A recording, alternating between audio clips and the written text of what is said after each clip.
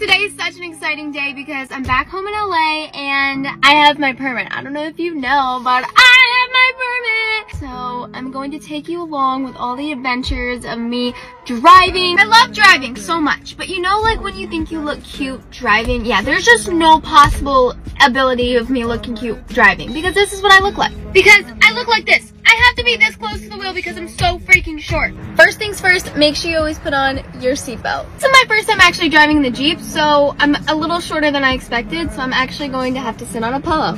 I'm not embarrassed to say it. Oh, this is so much better.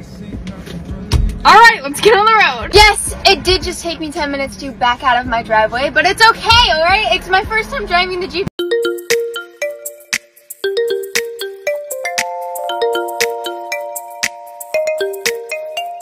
We're at Petco now to get stuff for our animals. Literally all of our money goes to our cats.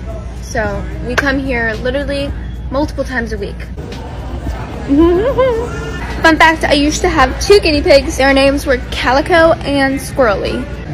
First stop is done. Now it's time to go to Home Depot.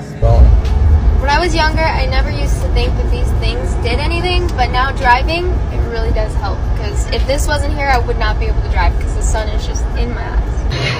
All of that grosses me out. I'm sorry if you like Halloween, but I unfortunately don't like Halloween. Not because I get scared, I just would rather it be Christmas. Get the Christmas stuff up, come on. This is a lit aisle. You slapper. I really don't want to drive home, but I mean, there's nothing else I can do. You ready? Jesus. Oh, I'm so. Oh, You're going two inches. You're not even driving.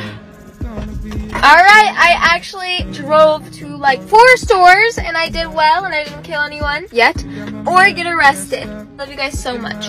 Thank you for coming along with me.